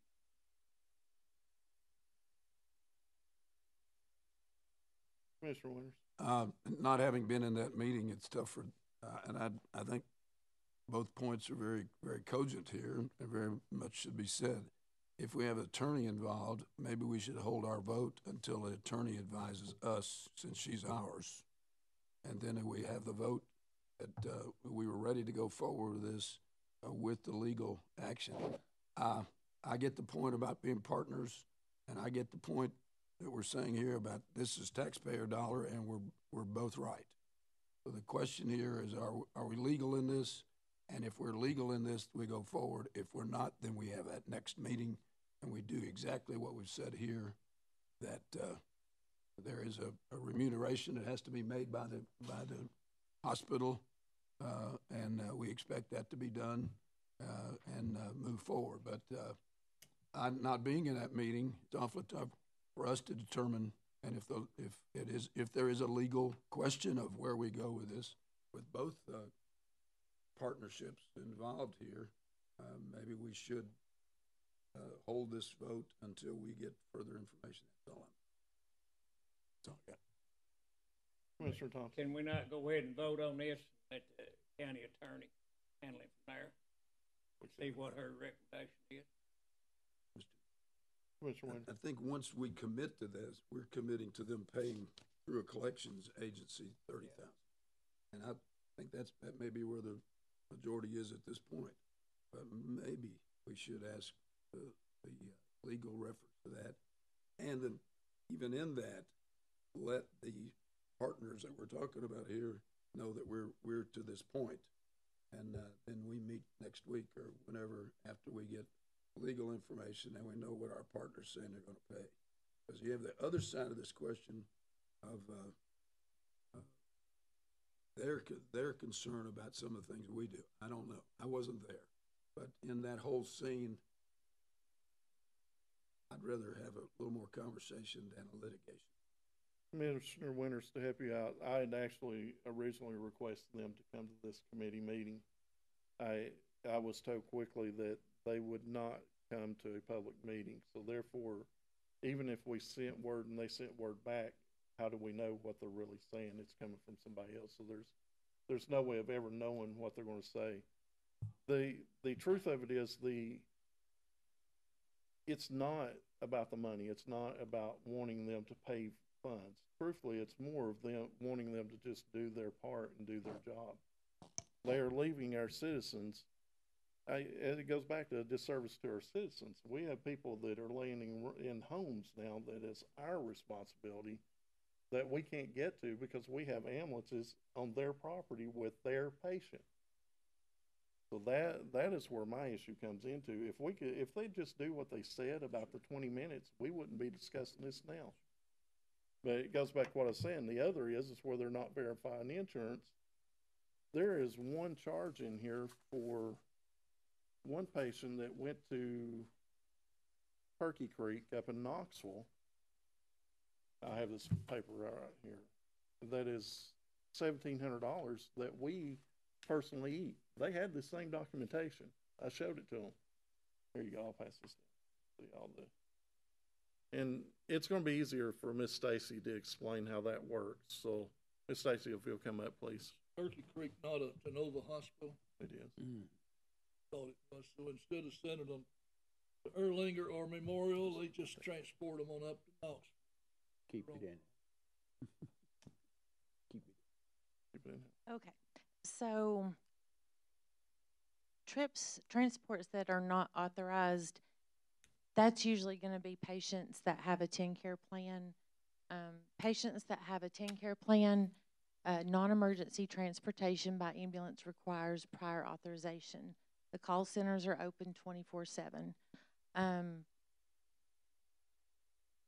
the reason we have taken transports that were not authorized, there's several factors involved. Um, sometimes the emergency room says, well, this is an emergency, therefore it doesn't require authorization. Um, just because that doctor or even a nurse says, oh, this is an emergency, does not mean that it qualifies to be billed as an emergency legally, um, you know, through our billing practices. Um, we still have to meet criteria with our reporting and how it was dispatched and everything else, and the patient's actual medical condition, um, you know, as reported through the hospital records and our report. If it was not an emergency, we can't bill it as an emergency just to avoid the fact that it, it didn't have, wasn't properly authorized. Um,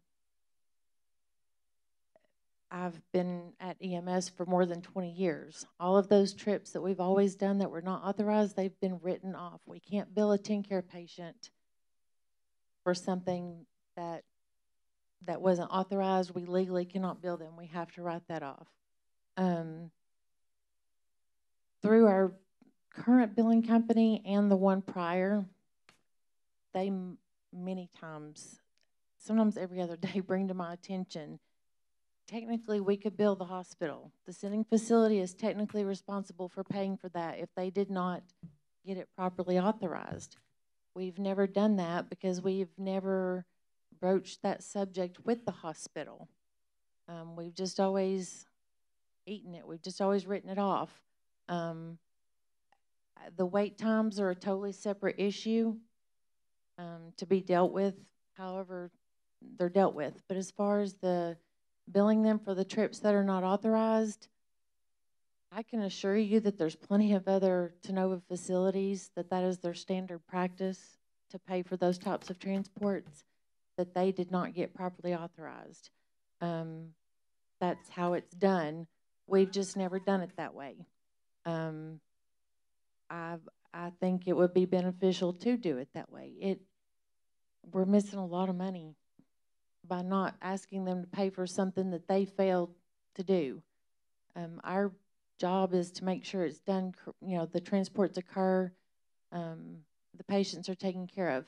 When these requests for transportation come in during the day that we're in the office, part of what we do in the office is make sure that there's the not an authorization. We make sure everything's in order so that we can get paid. But when the transport requests come in from the emergency room, it's usually the emergency room. Um, when they come in after hours or on the weekends, there's nobody in the office. Um, uh, there, there's several factors involved at the hospital. Also, even if if um, even if we did have someone um, at dispatch, for example, that was asking all the right questions about is this authorized or whatever, a lot of times the face sheet that the hospital um, staff is looking at, the demographic sheet, it's not usually updated at the point that they're calling, you know, dispatch to ask for an ambulance. So they don't know sometimes that that patient has a TennCare plan because registration hasn't put them in the system yet. I mean, there's a lot of factors involved, but plenty of other facilities um, are billed by ambulance services um, for failure to get authorizations. Let me ask you a question. On most of these calls, I know we spoke about it. Most of these calls, of what I can understand, was actual after hours, after Yes. you were gone and there was no one there. Yes. Because apparently you catch a bunch of these through the daytime and you correct them. These are really coming in more after you're already left, and then they're just well. Just to go ahead and explain it.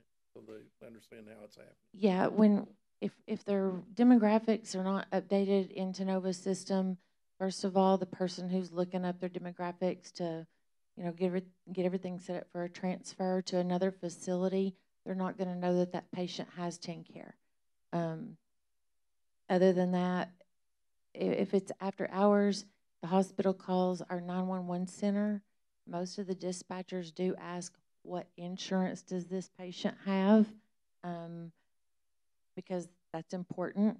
Um, most, you know, there's times that the dispatchers catch it on that end. And they're like, oh, well, that needs an authorization.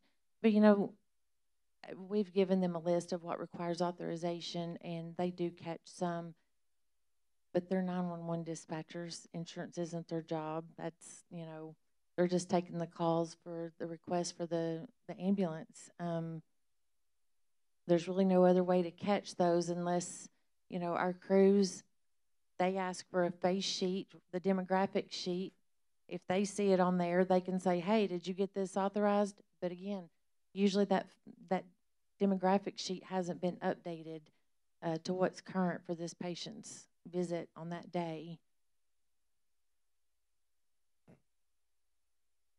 Uh, that was another thing I brought up with that during that meeting was them being responsible for that. I don't know which meeting you want to hear about, but roughly the one I was in, it was brought up, and I did not hear them say that they were in disagreement with that.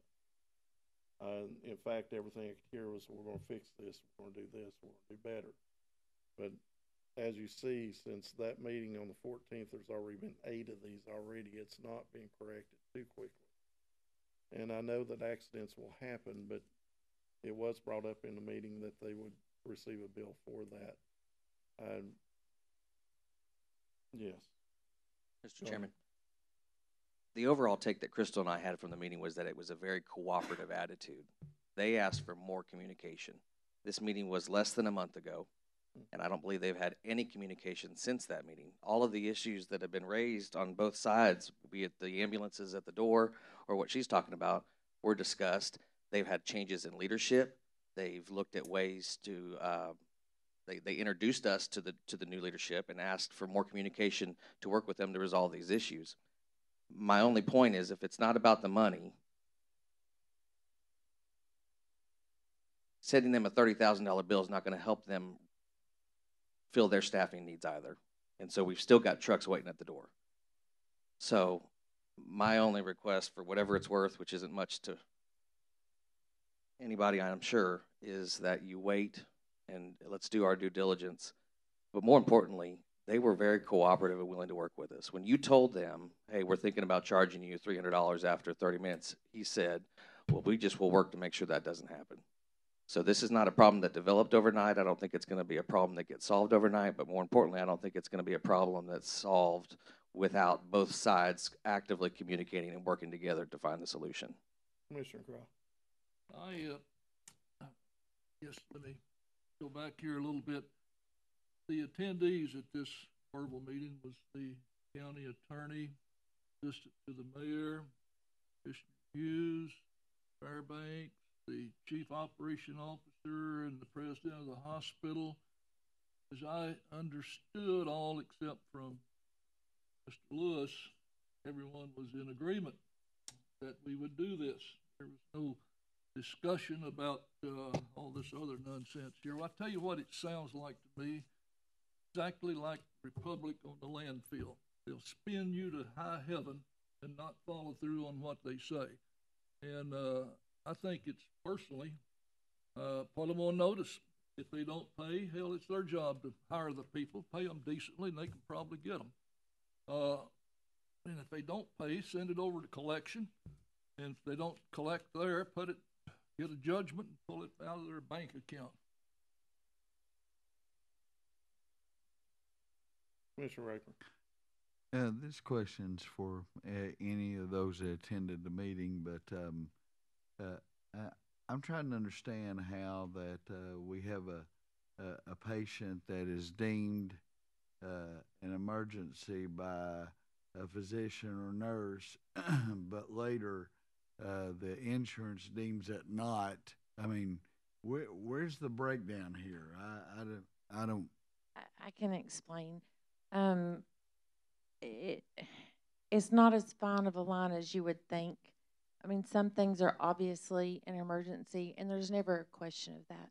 A stroke, um, a STEMI, uh, like a heart attack. Certain things are definitely emergencies.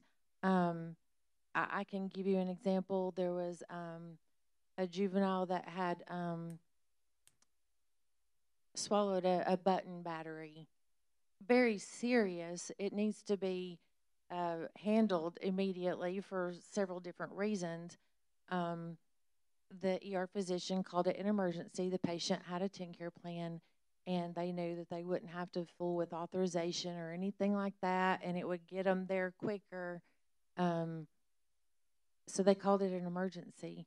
Well, ambulance crew arrives. I'm obviously not on a crew, but you know, I read the report. You know, the child was alert and happy and walking around, you know, the the emergency the room there and you know, the child had no complaints, wasn't crying, uh, no pain anywhere. Um, we took that transport immediately. There was no delay in that. Um, but for uh, there's safety issues for several different reasons. They didn't run, you know, lights and sirens to get down to Chattanooga. There's safety issues there, um, and there's.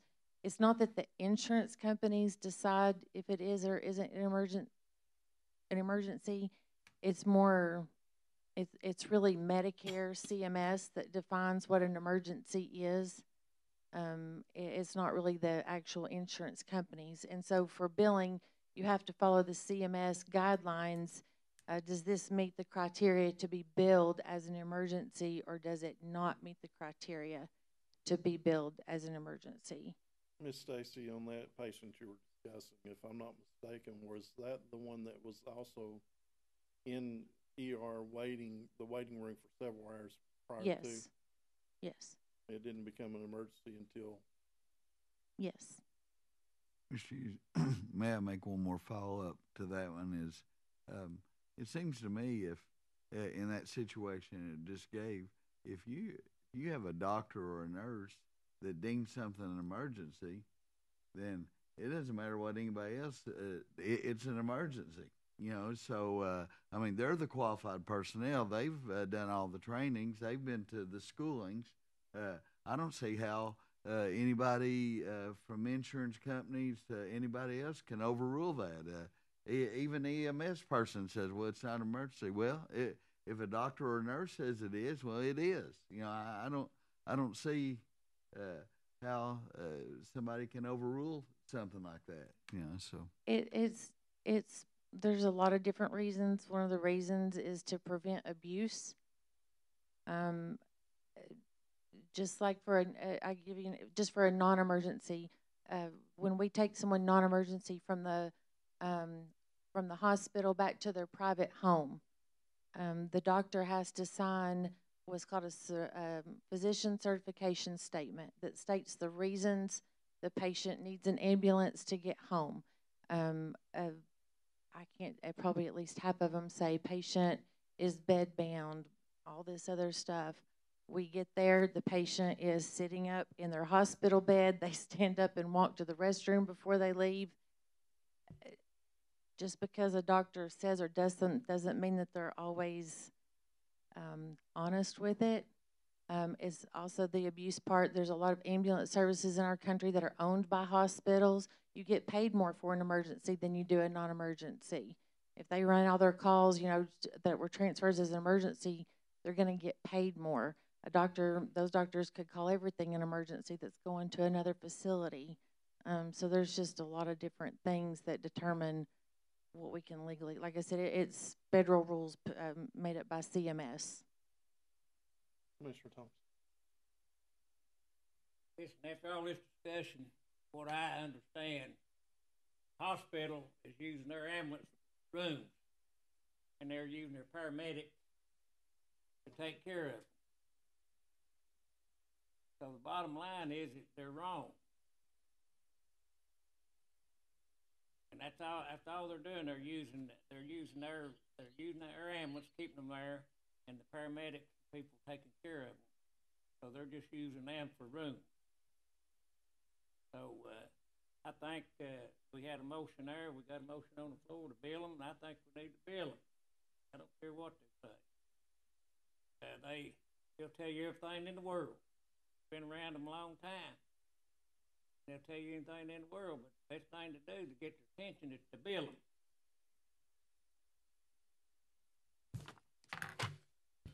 Commissioner Raper, um, to answer your question on that, what the protocol is, is they should verify that through the insurance prior to them contacting us. Not that we're saying it's not an emergency, it's just they're not doing their job on verification. Where if they verified it prior to, they would automatically know that the insurance cover, the company or to, care whoever is not going to bill for that. So they could easily saved, well, in this case, saved us money because they're, the, the actual ambulance service is not charging the patient for that. The Patient is not the one that's calling, it's the hospital. The, um, so therefore we end up eating that bill or eating that Mm. money. But that's, that's really what it is, is they're just not doing what there's, what protocol is set for. Yes, sir. May I, may I make one more comment? Yes, please. Um, who made the motion, uh, by the way? Uh, That was, Mr. Commissioner Thompson made a Okay. motion, it was seconded by Commissioner Crye. Would, uh, um, i- would you all, uh, consider, um, i- adding to that i- if, uh, Ms. Freiberg has some, uh, issues with that, then, um, the, the motion's, uh, null and void or something? I, I'm, uh, I, I am a little concerned about the possibility of Ms. Freiberg, uh, but you know, uh, uh, just have a contingency in there if she had con- concerns about it, so. uh, I, I'll, I'll be honest with you, I'd absolutely have to see the TCA that says that we can't bill them, because everything I've seen so far, I plumbed down to, I'm trying to remember what the training group is, had the attorneys for EMS. EMS one had attorneys that dealt with this issue, and even they were saying that it can be charged, and quite honestly, we're not the first ones to bring this up. It's, we're not the only one that's having this issue. Uh, Commissioner Winters?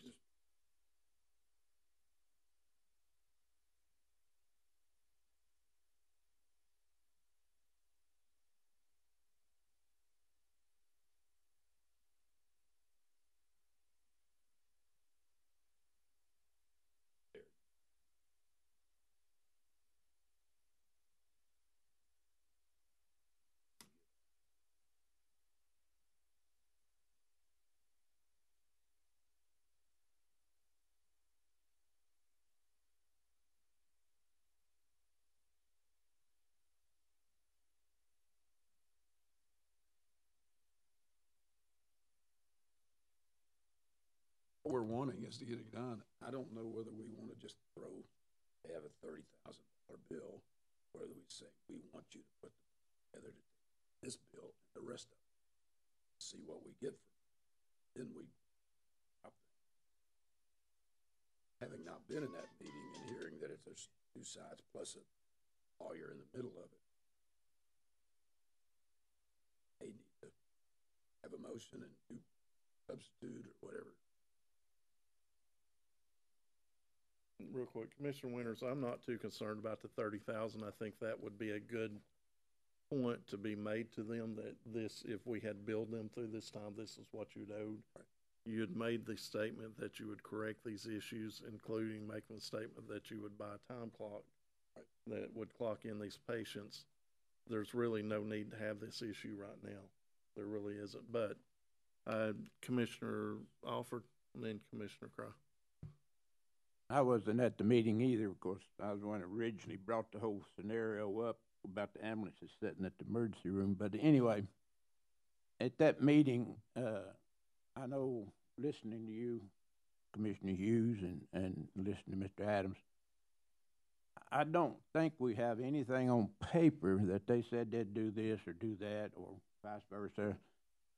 I would, uh 'cause they change people a lot up so we go with this deal, and we do this route, for example, on word of mouth, nothing written down. And next month, they bring in new CEO and say, hey, I ain't got nothing to do with this. I didn't have nothing to do with that. So there's nothing on paper. So I think we need to go ahead and vote on what you wanna do, but I think sometime or another, we need to get Crystal and them together, and you, or whoever we need to get together, and come up with some written policies that this is gonna happen, this is what we're gonna do. And rather than, and, and I don't disagree with not sending them a bill, but I just don't think that, uh, it will hold up if they bring in a new person, for example, and they say, I wasn't in the meeting, I don't know y'all nothing. Because there wasn't anything written down. There was a mem- a minutes taken, No, so there was. there was no minutes either. So I think before we just throw it out there and charge them a bunch of money, which I don't have a problem with, I think we need to really sit down and look at getting something on paper that we both can live with. I, I will say this too, honestly, they do need to have a written notification of what our intent is, that we're gonna start charging then, and whether they agree with it, I don't know that they would ever sit there and say, yeah, we'll pay this. I, I just don't, in writing that is. However, basically what we're doing today is setting a policy that would be able for the fire, or for EMS to follow on just billing a, it's a new company being built, basically. New companies, because it would include all hospitals. I don't want to make it sound like we're picking on Tennova. I'm not by no means. This is not an issue of just Tennova. This is an issue with all hospitals. And it's not just our ambulance service that has the issue. Commissioner Crye. I, uh, I'd just like to add, this is basically standard policy, uh, for many municipalities or counties that have ambulance services that deal with hospitals. They are aware of this, as I understand it, there were certain individuals on their side that made the verbal statement that, that this is ongoing, we, we don't do it here, uh, but at other places that they own, they pay. Uh, I have, I'm, I am like uh, Commissioner Hughes, I'm not hung up on the thirty thousand dollars, cause hell, we've been dealing with a million dollars every year, so thirty thousand is not that critical at this point. Uh, but I'm for passing this, maybe making a substitute motion that we start on the fifteenth of August and send them a letter, uh, to that effect and send them a copy of what it would have been in Mm. roughly two and a half weeks in July that they would have owed us. The, uh, from talking to people that have been to Tennova, the facilities are great.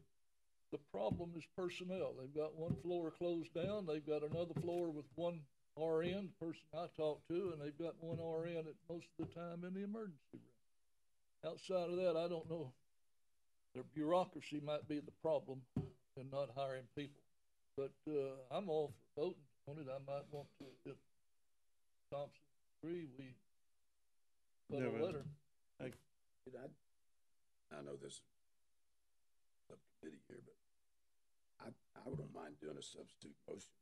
Just what Alford said, that have this motion table to a future meeting. Look at the parameters of that meeting, what was actually said in that, their commitment, move forward. All right. Quite, request that Real that's- quick. Had a second, or a substitute motion made by Commissioner Crye. Does anyone want to second that? Sorry, I So, didn't- I didn't know it was a substitute. I'm about to go back, cause what, I believe we all have to vote on that first and then vote to make the, yes. Are you seconding? You wanna re, re, I state think, uh, Commissioner Thompson made the original motion. We yes, built it it. has to be approved by you. And I seconded that motion after listening to Commissioner Alford. And I, Commissioner Hughes, I made a substitute motion that we delay the collection until fifteen August, implemented it. Interim, we send them a letter along with a copy of what it would have been in July. And, uh, that was my substitute. Okay. Okay, so you got a second with that, so everybody's agreement with the substitute. Commissioner, Only thing I'll say, I'm gonna vote for it. If I've got a hospital bill up there, if I don't pay it, they sue me. First thing they do, they send you a letter and sue you. Now you tell me that's not true. ain't much difference here. I agree with you, we'll take a little more time, but, uh, I think we've had enough of time, thirty thousand dollars may not mean much to y'all, but it does to me. Taxpayers. I do believe also to correct something, as far as, we were talking about the emergencies earlier, what the actual billing would be would be for, it's for the, not doing the pre-approver, pre-authorization on those, not necessarily emergency itself. So that's just not being done, that's what we were actually discussing. But Anyway, a motion's been made, seconded, all in favor? Aye. Aye. So, motion passes unanimously. I make, Oh, go ahead. now that we Commissioner. voted, I, I would like to ask our new state representative, congratulations. Put this on your itinerary on doing something about this when you get up there. That's your first deal. We'll give you something to start off with. Bring back a report. Congratulations. Carry them papers with you. All right, I do believe in the, unless there's other business, uh, meeting's adjourned. Thank you. Woo, what a meeting. That's all right, we got some. Thank you, Howard.